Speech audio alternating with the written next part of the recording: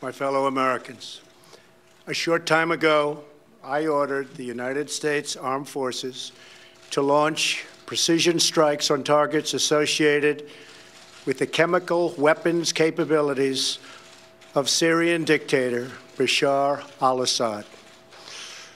A combined operation with the armed forces of France and the United Kingdom is now underway.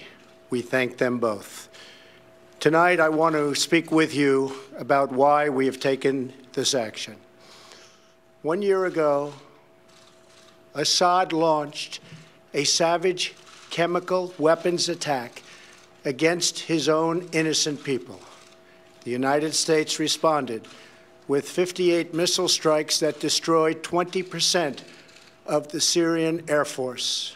Last Saturday, the Assad regime again deployed chemical weapons to slaughter innocent civilians, this time in the town of Douma, near the Syrian capital of Damascus.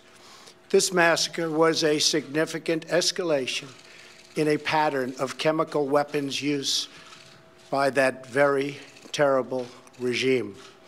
The evil and the despicable attack left mothers and fathers, infants and children thrashing in pain and gasping for air. These are not the actions of a man, they are crimes of a monster instead.